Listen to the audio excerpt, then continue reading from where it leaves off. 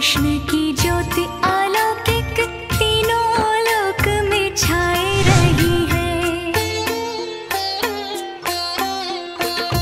भक्ति विवश